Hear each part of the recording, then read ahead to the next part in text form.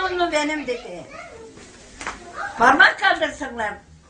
Kitaplarınızda resmimi görüyor musunuz dedi. Birinci sınıfta iyi gidiyor. Parmak kaldıran olmadı. Hoş gelişler ola Mustafa Kemal Paşa. Askerin, milletin bayrağınla çok yaşa.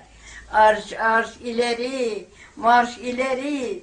Dönmüyor geri Türk'ün askeri. Kızım bir daha bayrağı söyle. Göklerin ay yıldızı senin göğsünde yanar. Bu yurdun oğlu kızı seni şerefle anar. Yaşa ey şanlı sancak. Gönlümüz neşe dolar senin gölgende ancak. Bunları Atatürk'e söyledim. Atatürk öptü yüzlerimi. Sekiz yaşındaydım. Kızım dedi, annen baban sağ mı dedi. Sizlere ömür paşam, anam da babam öldü, sizlere ömür. Anam dedi, seni bana versin de dedi, ben seni okuduyum dedi.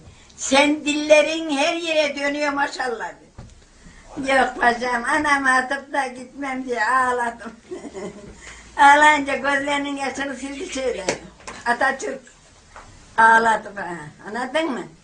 Korkma, korkma.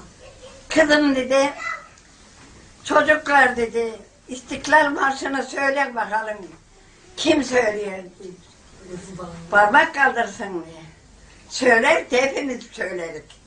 Yalnız söyleyecek. Parmak kaldırdım. Korkma sönmez bu şafaklardan güzel asancak. Sönmeden yurdumun üstünde tüten en son ocak o benim. Milletimin yıldızıdır parlayacak. O benimdir, o benim, milletimindir ancak. Çatma kurban olayım, şehrene yayın azlı hilal. Kahraman ırkıma bu şiddet bu celal sana olmaz.